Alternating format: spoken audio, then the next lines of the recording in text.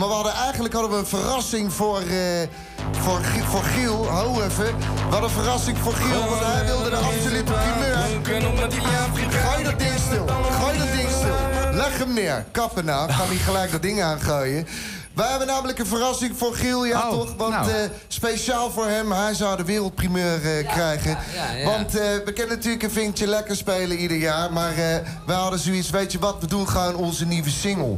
En eh, speciaal voor jou dan, Giel, ook ben om benieuwd. weer hart onder de te steken. Nou, die heet Kattenkwaad. En eh, we hebben... Nee, wacht nou even.